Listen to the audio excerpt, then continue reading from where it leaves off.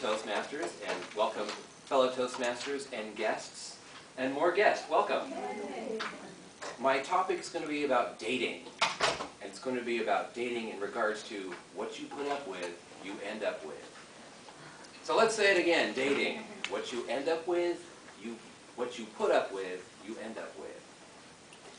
Most of us know that dating for many people is seeing if the sex is any good.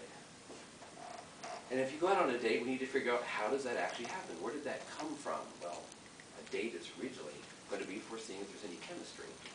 And if there's any chemistry, you're going to see if there's a good kiss. And if there's a good kiss, well, you want to see if the sex is any good. But where does this actually come from? This is normal. It's chemistry. It's how God put us together. It's, as my mother calls, the dance of the hormones. I've heard a lot of people over the years say that they would never marry anybody they didn't know if they were good or bad in bed. To be honest, they assume that, that great chemistry means that they're going to have a fantastic life, that everything's going to work out really well, that there's going to be a lot of things to talk about with their children. But that's just not true. As soon as the sex goes away, that's the only thing that was there keeping you together in the first place. So what do you do after that? What's the solution? Healthy dating is the solution.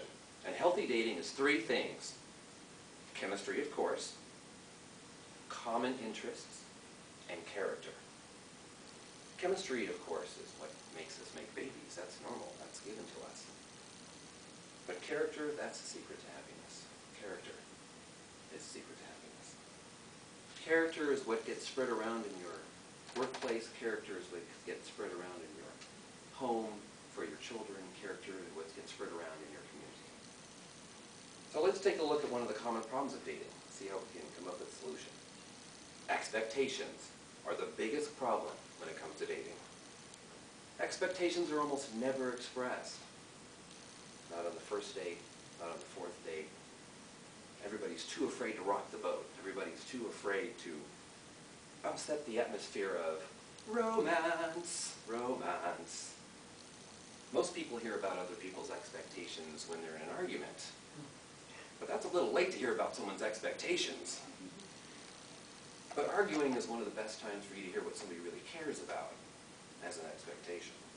And that's the problem with expectations, as defined in the dictionary as something hoped for. During our dating phase, we don't want something hoped for. We want something concrete. We need a boundary, something that both parties can agree to. Boundaries. Happiness comes with a price tag, people. You've got to be willing to scare your date to death on the first date, tell them what your life's all about, what your happiness involves, where you're going. Now, it's obvious that you can't express all of your boundaries on your first date, so you need to have an oversight committee within your heart so that as stuff comes up, you lay out the law. Chemistry is not enough for happiness. Chemistry is not enough. Overseeing our boundaries protects our dreams. An example of a boundary with an oversight on a date. You're on date number three, you're having a great time, and your date turns to you and offers you a big fat line of cocaine. you don't do cocaine. What do you do? This is the time for boundary setting. And you've got to set it right now. You can't wait till you get home or next week or next year when you have three children. Now is the time.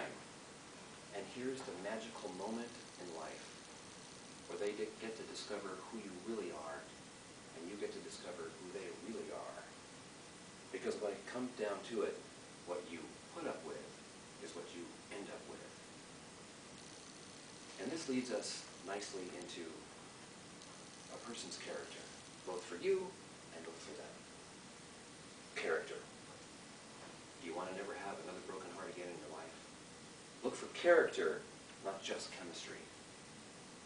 Character and chemistry combined, that's a spicy meatball. That's the spice of life, the combination of character and chemistry. Character is not visible right up front.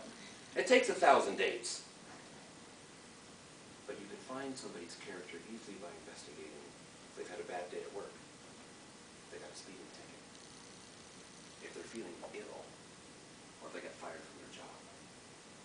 That's how you tell somebody's character. You need maybe ten days, maybe a hundred days to find your character. Character lasts forever. Don't get good at dating. Get good at finding character. Get good at finding somebody with a positive mental attitude. That will last for your parents, that will last for your children, that will last for your community, that will last for your country. A positive mental attitude goes a long way toward maintaining your happiness, your life, your dreams.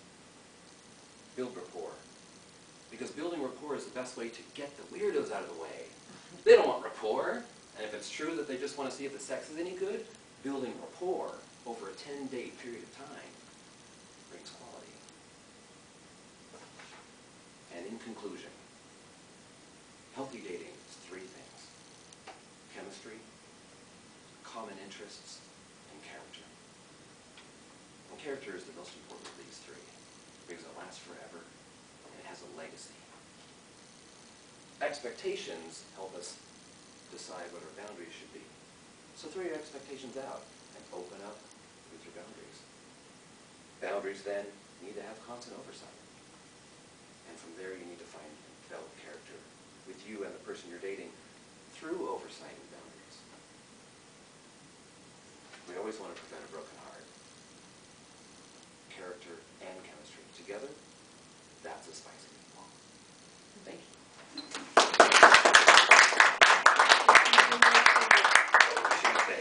Thank you so much, you. Always very entertaining, different perspectives, so appreciate it. Thank you for talking about that. Next, we have the segment called Table Topics. And Table Topics is a time for impromptu speaking.